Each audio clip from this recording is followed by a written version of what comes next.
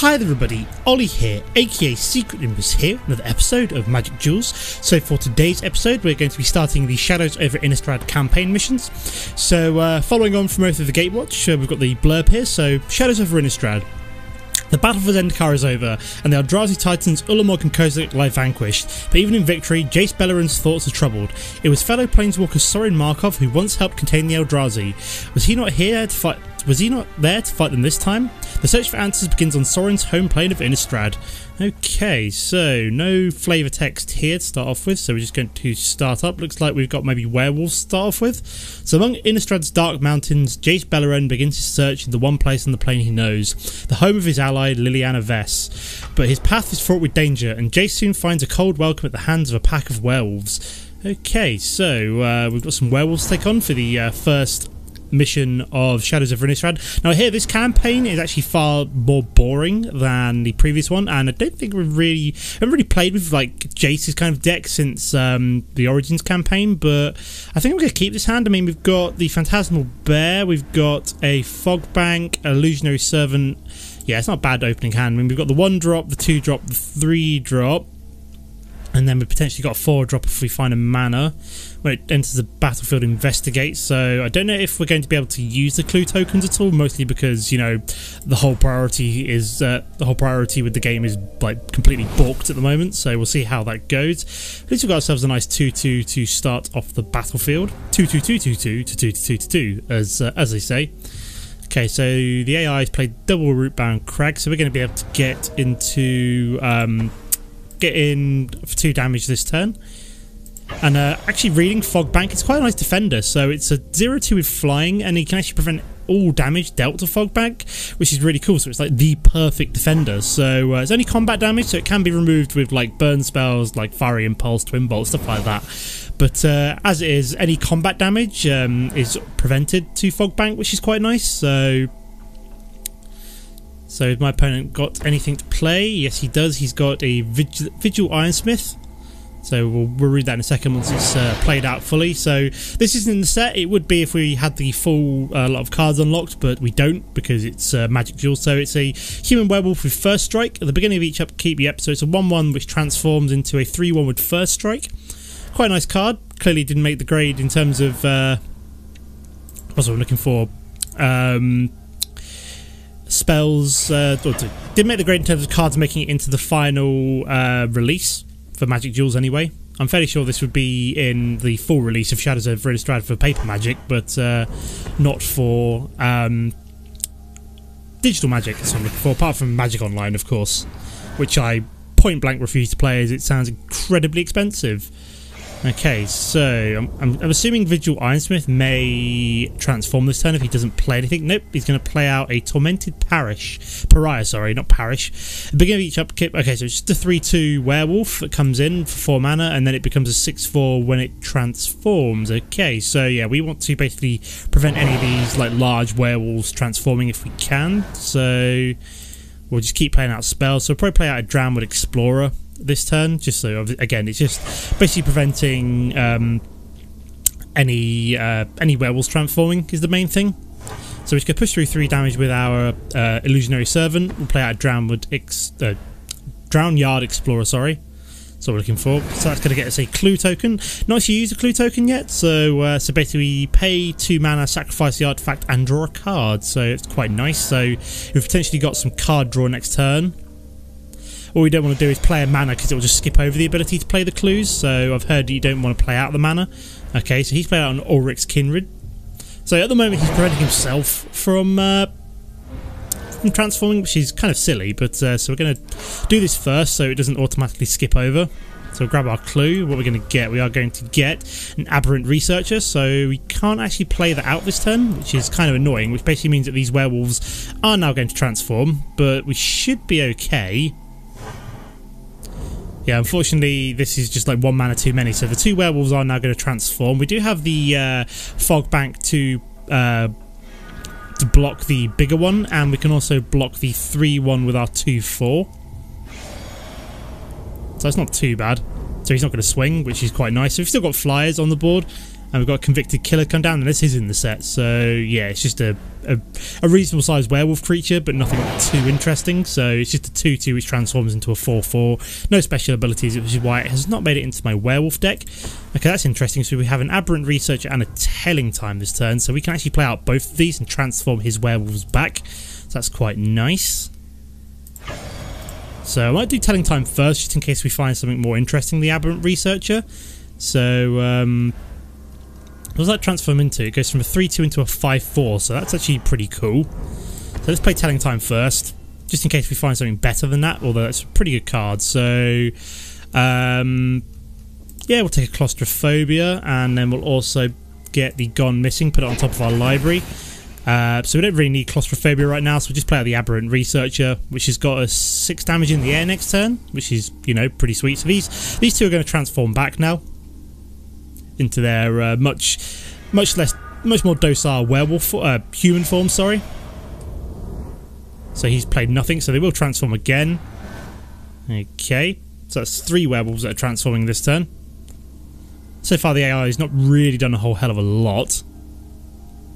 So this is going to trigger so, oh yeah, it did just flip. So, at the beginning of your upkeep, put the top card of your library into your graveyard. If it's an instance or sorcery card, transform Aberrant Researcher. Excellent. So, uh, tap target creature, it doesn't untap. So, what can we do here? Can we potentially push through lethal? I don't think we can. So we just swing with... Oh no, we've actually got lethal on the board because I forgot that our aberrant researcher actually flipped into uh, its uh, perfected form. So that's, you know, lethal against the werewolves. No, no, no, no retaliation. It was just a nice, uh, simple, simple win really there with Jace. Nets us 10 gold. There we go. We've also got some uh, token um, working towards our what's the one looking for? Daily quest there putting a token on the battlefield. What token did we put on the battlefield? I don't know. But Jace implores Liliana to help him unravel the mystery. She rebuffs him far more concerned with her own pursuits of the demons that she still holds hell power over her and the chain veil. She points in Sorin's home at Markov Manor but she offers no other aid.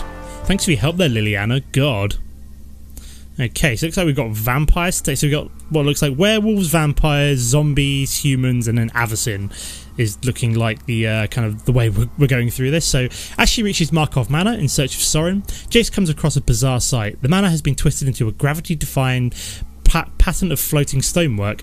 Towers, halls, and buttresses hang at impossible angles around the sundered core of the building. Okay, so what's happened to uh, Sorin's home? So look, yeah, we are taking on vampires this particular uh, match. So it looks like we've got a slightly bigger deck.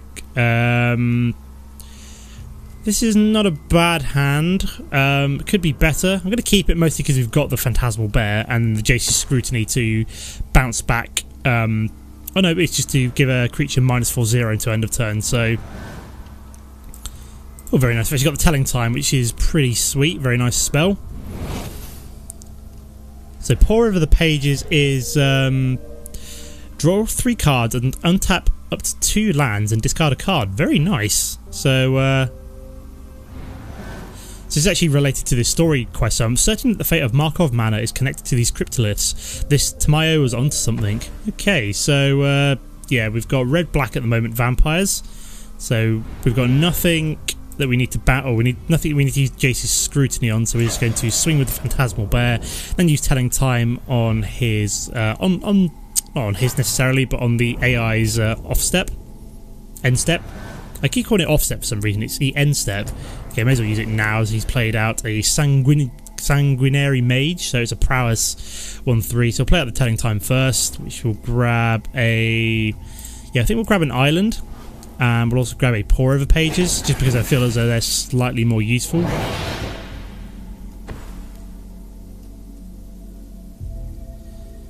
Okay, so what can we do this turn? We've only got Jace's Scrutiny, so I don't think we can swing here. So we're just going to skip attack. So yeah, it's got prowess, so it'll go plus one plus one every time an instant or sorcery or not is it non-creature. So when Storm, Kirk meant to enter battlefield, put a one-one counter on another target vampire you control. Now that is a very nice card, and I'm looking forward to using that in a vampire deck. So it should be pretty cool. So vampire tribal is going to be very nice. That and zombies are both going to be very very good. I'm looking forward to trying both of those tribals. So He did nothing there, so I'm just looking at my phone here in case it was anything important. Let me just get rid of all the crap on my phone quick. There we go. I, I, had a message buzz in. I was like, "Oh, it's my wife. I better uh, better respond." But looks like we're not doing anything else this turn, so we'll just skip over the uh, skip attack here, then play out Drowned Explorers, which will get us a clue token.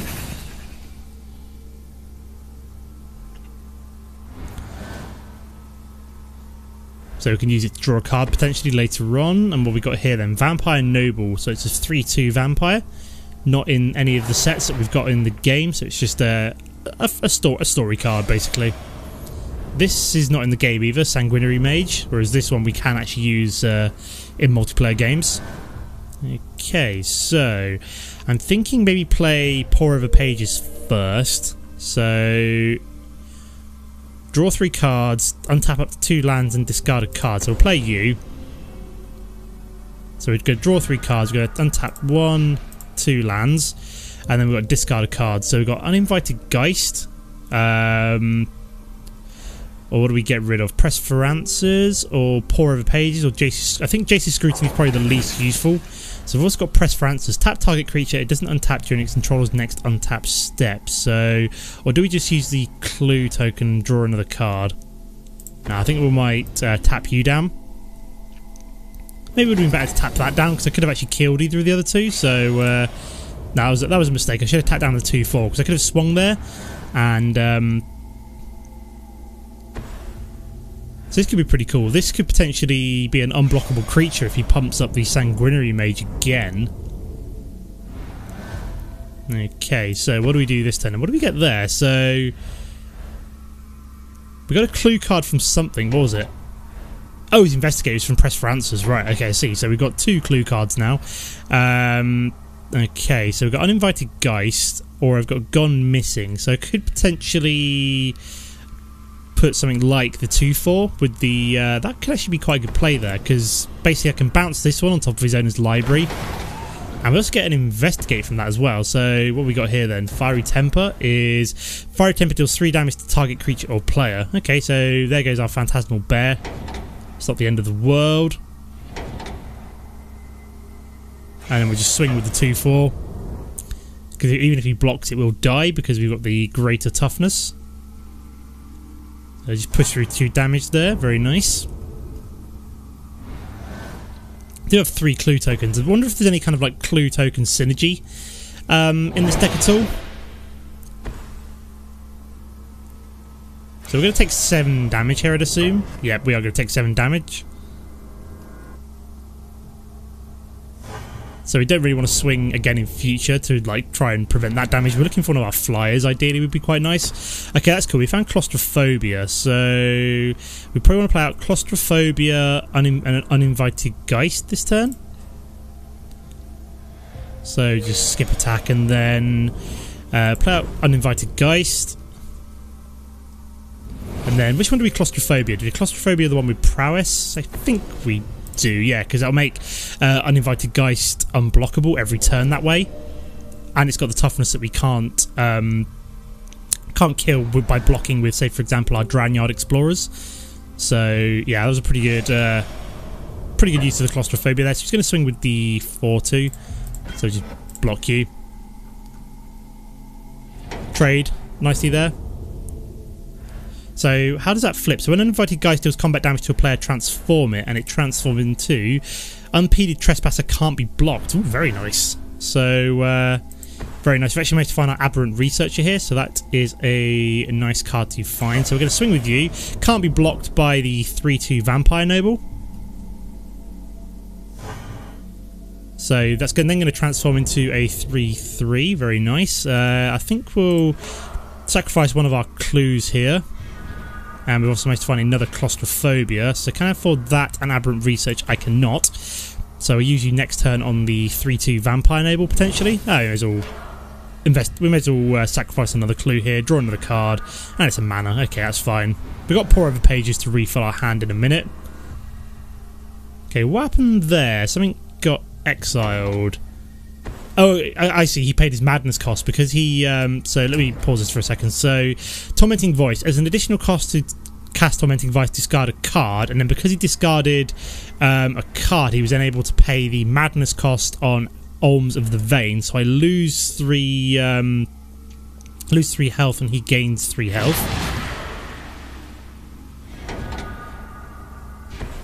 Okay, and he's also then played out a Fiery Temper, so that's going to die.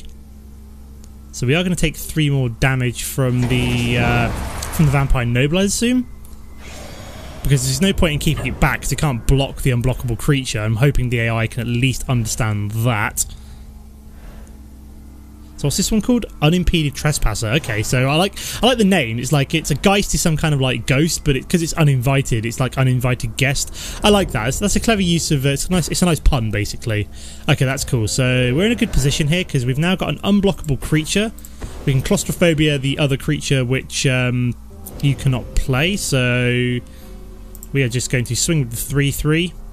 I mean, we're down at 7 health, but we're in a very comfortable position here, so... Just to deal 3 damage. Play out the Illusionary Servant. Here we go. And then we may as well sacrifice you, draw another card, why not? What do we get? We got... Stormgeist. So Stormgeist power and toughness are equal to the number of cards in your hand. Whenever it deals combat damage to a player, draw a card. Very nice. So that's going to synergize up well with Pore Over Pages. Okay, so he's played out another Vampire Noble. So potentially you want to keep uh, Illusionary Servant back as a um, as a blocker for the 3-2.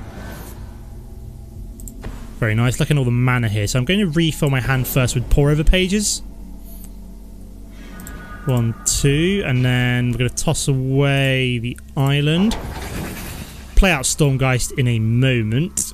We will just swing with the 3-3 here, which is unblockable, so the 3-2 can't do anything about it. And then we'll play out Stormgeist. I mean, we could play out, play out Fogbank, but I like the idea of actually this having some kind of um, a decent, a decent, a decent, half decent attack and defense. Okay, what we got here then? Murderous Compulsion, destroy target tap creature. Okay, so goodbye to my unimpeded trespasser. Not the end of the world. We've still got other creatures we can use, so we at least got a block of that 3-2, and we can swing with our Ster Storm Sturmgeist. Sorry, Sturmgeist, not Stormgeist. Ooh, very nice. We managed to find a Phantasmal Dragon. Very, very good uh, vanilla card. 4 mana, 5-5 is always very good. It does have the... Uh, the illusion weakness where if it becomes a target of any kind of spell or ability it uh, just goes immediately to the graveyard. We'll keep the fog banks in hand as they're not really that necessary and we'll just play out our uh, Phantasmal Dragon. We'll keep three cards in hand, so Sturmgeist has a you know reasonable attack and defense. Okay, so the AI's got nothing, so we can swing for lethal here. Oops a daisy, that doesn't really matter too much, it's still 8 damage that we're going to push through. I'll keep back the 3-4 just in case um, he's able to remove either of these. There we go. So we've beaten the vampires. Very nice. That's uh, two two missions down, three to go. Probably won't get all through all five today. I'll probably do the next one, however. That's tokens coming into the battlefield. I don't know what I'm spawning as tokens, but hey ho. Oh, it's the emblems, isn't it? The uh, the clues are actually tokens. So, inside the manor, Jace finds no sign of Sorin, but instead discovers the ghastly remains of the Markov bloodline embedded in the stone walls. Upon closer investigation, he locates a vital clue a tattered journal filled with records of the recent happenings on Innistrad. Okay, so it looks like we've got some zombies to take on this time for the last game of today. So, the entries in the journal lead Jace to the coast of Nephalia uh, here too, the ground has been warped into a strange formation rising from the sea. Hordes of zombies assist with the construction, while dark shapes wheel overhead. Drawn like moss to a flame, uh, Jace ventures down to the water's edge to investigate. Okay, so we're playing, we're facing ghoul callers, so uh, looks like zombies. Okay, so um, what have we got here? Nagging Thoughts. Look at the top two cards of your library. Put one of them into your hand and the other into your graveyard. And we've also got Aberrant Researcher. I'm going to keep this hand. I quite like it. I mean, um, we won't be doing anything turn one, but we, we do have a turn two, turn three, and turn four. So it's not too bad. We started playing Blue-Black Zombies, which would make sense. The theme of the Blue-Black Zombies making uh, a lot more of an appearance in Shadows of Innistrad. So so he's going to play that. So we need to put one card into our hand. We will take the Phantasmal Dragon. The other one goes into our graveyard, which would be the mana that we don't actually need. So uh, that's pretty cool. Yeah. Cool, so he's played out a Seagraf Skaab, which is a 1-3 zombie. Yeah, 1-3 zombie. So nothing too exciting. We're going to be playing our Illusionary Servant this turn, Aberrant Researcher the turn after that, and then probably Phantasmal Dragon the turn after that. So this is a nice blocker. do like um, Illusionary Servant is uh, is a very He's a very powerful three mana mana creature. It does obviously have the illusion uh, weakness to it, but nonetheless, it's still very nice. Aberrant Researcher is very, very nice indeed, actually. It's a very, very powerful, very, very powerful card. The fact it's to essentially become a 5-4 flyer for 4 mana is uh, pretty cool. Okay, so my servant, my sorry, my illusion is going to the graveyard, unfortunately. So he would bounce it back to my hand, but unfortunately, because it is a it is an illusion, yeah, it would go back to my hand, but um, so then that player discards a card if you control a zombie. Oh, I see. Because it didn't resolve because my servant basically went to the graveyard, I didn't actually have to discard a card. So that was one good thing about uh, it being a, uh, being an illusion there is the fact that it, I didn't have to then discard a card because of it. Although I've got way too much mana, so one of the islands would have just got dumped in the graveyard. What we got here? Crow of Dark Tidings. When Crow of Dark Tidings enters the battlefield or dies, put the top two cards of your library into your graveyard.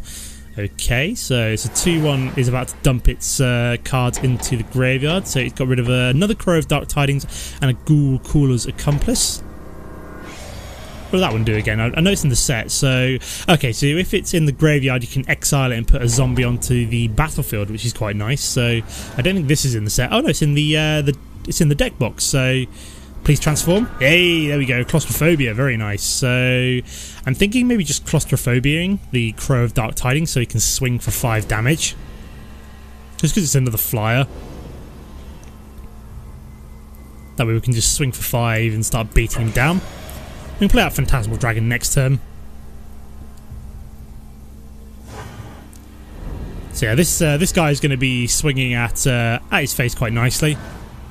So it's a perfected form. So some kind of like crazy wizard um, who's like part insect, and then he's somehow managed to turn himself into some giant rampaging flying insect. Very nice. Innistrad is a lovely place to go on holiday, I'm sure. Zombies, werewolves, vampires, and giant flying insects. As you do. We got anything here? So we've got Rottenheart Ghoul. When it dies, target player discards a card. So Mean, we're still out DPSing him essentially. Three damage every turn to our five. Uh, will be 10 after the Phantasmal Dragon, so technically next turn we'll be uh, pushing for lethal. Which is kind of cool, thanks to the claustrophobia preventing the... Uh, what's what I'm looking for? The Crow of Dark Tidings blocking our uh, perfected form.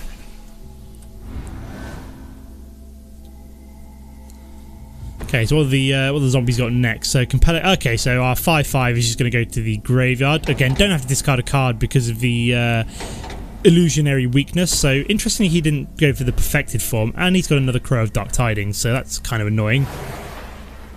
It's going to take us at least three more turns to what do we get rid of? He got rid of a flesh to dust and a mana there. So he's going to be swinging for three here. So we're probably going to do pore over the pages this turn find ourselves some. Uh, what we got? Oh, we got uninvited Geist, which is quite nice. But we are going to pour over the pages first. Draw some cards. So we're going to untap one, two, and what do we want to toss away? Uh, target player draws a card, then discards a card. Not the most useful. I might get one, rid of one of the Reckless Scholars there. So, what's Welcome to the Fold? Gain control of target creature if its toughness is 2 or less. If Welcome to the Fold's madness cost was paid.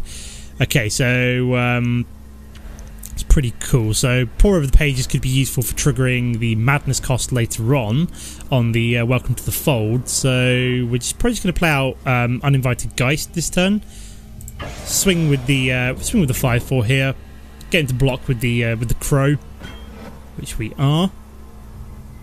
There we go and then we just play you out. So he had to toss away another two cards, so he's milling himself down at this point. I mean, these decks are quite small. You really don't want to be milling yourself down if you can avoid it. If he plays out another one of those crows, okay, we got Flesh to Dust, so goodbye 5-4. So I might nick his um, his zombie here. So I'm just gonna skip blocking there.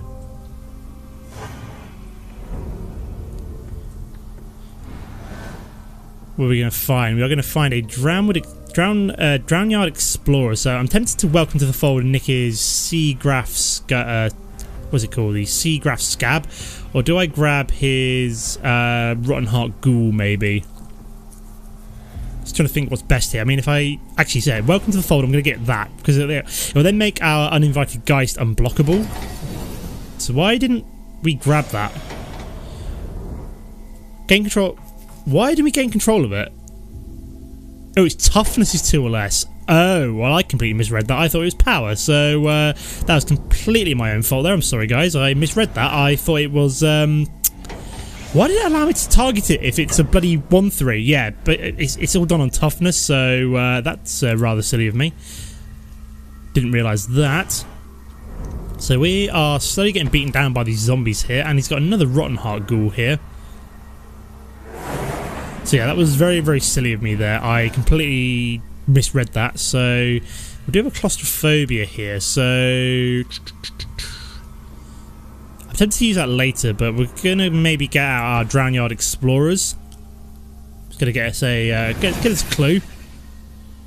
So yeah, this does count. Yeah, it does actually count as a token. So we're gonna sacrifice you now and find a mana. Okay, so skip attack here. I play out the mana and I can't really do anything else. So what's he going to do? Is he going to swing at all? He's going to swing, okay. So he's going to block some of the damage here. Could have blocked the 1-3 as well, I suppose. I wasn't really paying attention there.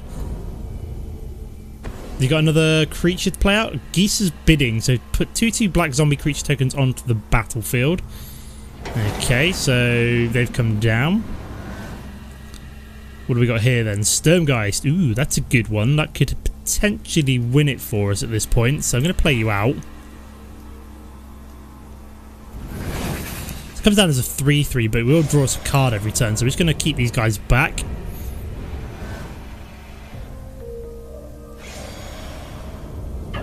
So he's going to swing with pretty much everything.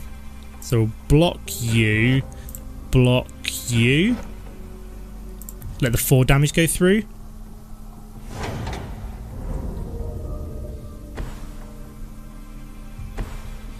So we've got here then, we've got Lamplighter of Selhoff. When enters the battlefield, if you control another zombie, you may draw a card. If you do so, discard a card. Okay, so basically he's going to draw a card and discard... I say now, he probably doesn't have to draw a card. Okay, he just drew and discarded out of mana. Okay, interesting.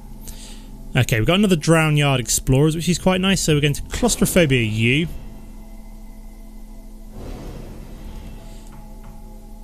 And then we're just going to swing with the 3-3 at his face and then maybe just play out a Drownyard Explorers as a as an additional blocker for these two fours. Play out the island, play out the Drownyard Explorer. There we go. So I might kill the 2-2 with um, with my uh, uninvited Geist just because it's not really doing much at the moment. Okay, so we're just going to swing with the 2-4, so we're just going to block it with our one of our 2-4s. Okay, that works for me if he's not willing to play anything else. What we got here, Ghoulsteed. So it's a 4-4. So we could do some way of uh, dealing with that, ideally. So what do we got? We've got Phantasmal Bear. It's quite nice. Uh, we're going to sacrifice uh, sacrifice you, which will pump up my... Um, what's the word I'm looking for? My Sturmgeist. Swing at his face. Oh, I should have poured over pages there. Whoops daisy. That would have got me two. Uh, I don't think it would have mattered too much. Would have got me two additional cards, which wouldn't still have been lethal. So I'm now going to just kind of play out a load of creatures here. It's going to empty my hand out, but I can pour over pages to refill my hand next turn. So I'm not too bothered there. So this is going to go down to a 1-1, but it'll be back up to a 3 damage next turn. So I'm basically just playing out all the creatures I can to prevent me from dying this turn. So yeah, he's done nothing here. And what we got here then, from under the floorboard, so put 3-2-2, okay, so he's putting 3-2-2 black zombie creature token on the battlefield. Doesn't actually matter because we've got the uh, Sturmgeist to actually win it for us, so... Okay, so we don't want to play out the island, so we're going to pour over pages. So he's going to tap you, tap you. We're going to throw away the island. Oh, he got health back from somewhere. Where did that come from? I'm assuming this. Oh yeah, he gained three life from that. Well, that makes me quite sad. So I'm going to swing with you. And I'm going to keep playing out creatures, basically. So at this point, we're just trying to we're just kind of beating down a little bit.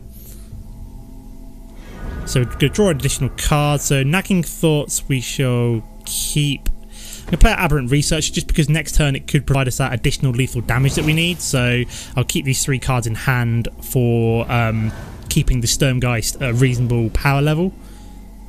So what did he put back? I think he just put a 2-2 zombie creature onto the battlefield. Well, so we got? Crow of Dark Tidings. Okay, again, not too bothered by that. So he's only got one fly which can block either our Sturmgeist or our Aberrant Researcher next turn. So I think we're okay here. I think we've got enough creatures to block. So we're going to block with you and then block with you. There we go. So yeah, basically we've won here. There's nothing the AI can do about it. So you're going to transform potentially. Even if you don't, it's not the end of the world. Okay, there we go. So we can swing with the 4-4 and the 5-4. Perfect. Either one of them has to connect, and basically he's only got one creature which can block them. So one gets blocked, the other pushes through lethal. Excellent. So uh, three wins out of three, all on the first attempt, so uh, rather successful. Nice 30 gold netted there. Came up just short of being able to uh, unlock a pack, unfortunately, so Let's read this. So the ghouls claw at Jace, but provides little information about the stone edifice before him. The sound of frenzied wings overhead turns his gaze skyward. Angels. He's seen them before in the journal's entries. He follows the angels and the journal's clues onwards towards the town of Thraben. So yeah, Thraben is uh, quite a uh, common theme in terms of Innistrad cards. Okay, so we'll leave these last two uh, battles for next time, and I'll leave it here for now. So as always, guys, don't forget to comment and like if you enjoyed the episode, and I'll see you next time. Goodbye.